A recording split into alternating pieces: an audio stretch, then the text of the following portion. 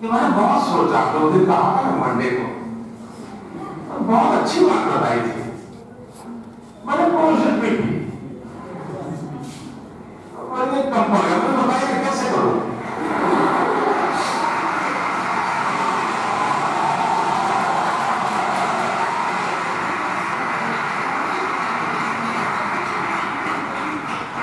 आपकी एग्ज़ाम पूरी उनकी एग्ज़ाम शुरू। घंटे भर को समझ गया का क्या जवाब दे। इसका ये नहीं कि मैं आपके माता बोलते हुए मैं तो हूँ।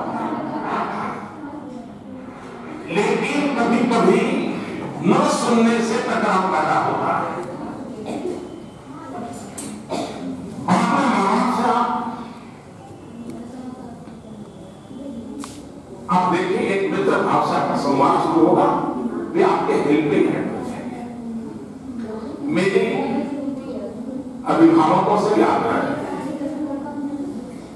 कि कहीं ऐसा तो नहीं है कि आपने बचपन में सोचा था डॉक्टर बनना है।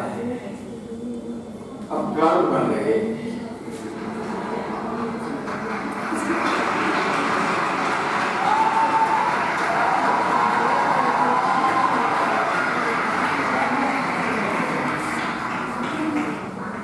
सारी सजा बच्चों को दे दो वो मामा विफल है, जो अपने जीवन की अधूरी